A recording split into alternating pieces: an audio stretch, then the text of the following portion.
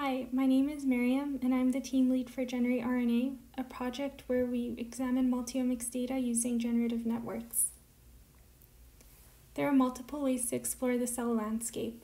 Assays like ChIP-seq and ATAC-seq provide insight into chromatin accessibility, while single-cell RNA-seq can reveal the transcriptional state of cells.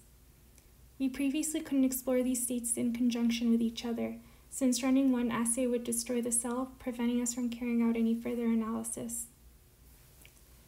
This is where SNARE-seq comes in. Recent advances in single-cell technology has allowed us to obtain transcriptome and chromatin accessibility from single cells. This allows us to explore those states in relation to each other. The only tricky part is to develop models and algorithms that can analyze and understand this treasure trove of data. Generative models are one of the most promising approaches towards this goal.